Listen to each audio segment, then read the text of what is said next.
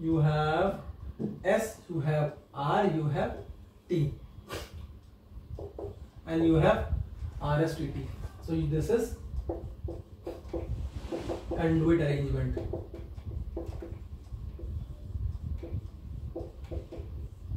Conduit arrangements.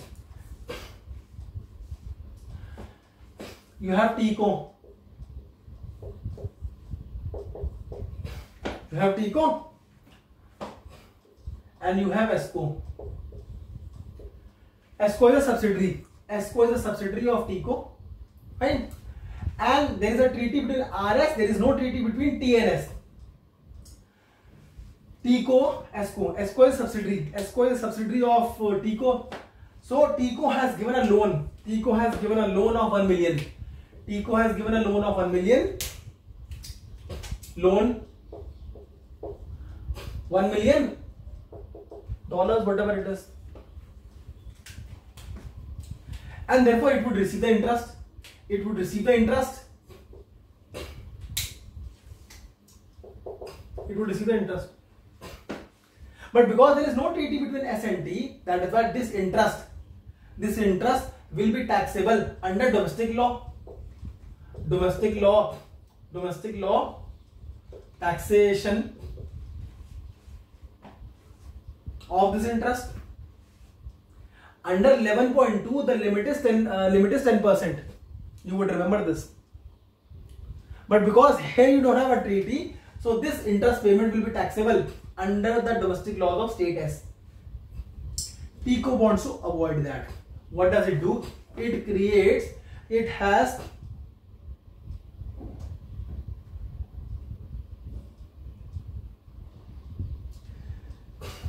So it creates RCO subsidiary. It creates a subsidiary. Fine. It creates a subsidiary and it assigns it assigns the note it assigns that loan because the loan is owned by TCO. TCO is the owner of that loan. TCO assigns that loan note to RCO. Assigns.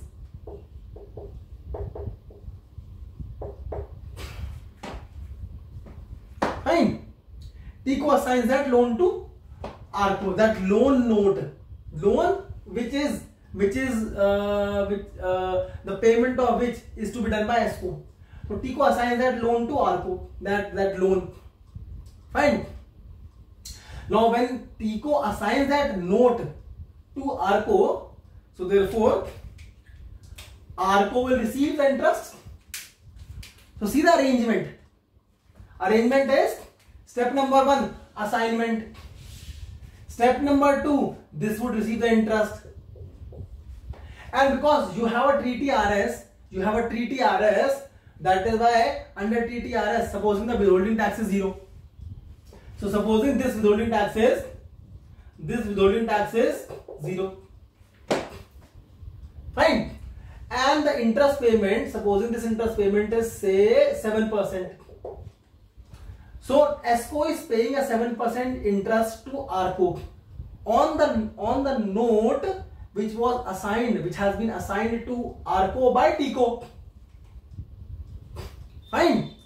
So when TCO assigns the note to RCO, RCO also gives something in return to TCO. So TCO also gives a note. Under this note, under this note, RCO pays an interest of 6%. 6% interest is paid by RCO to TCO. So you see the series. Assignment payment of interest it receive the interest and then it pays the interest further to T co one two and step number three you see what is a conduit company now Arvind Chetna can we see that R co is acting simply as a pipe conduit Arvind Chetna Chetna Chetna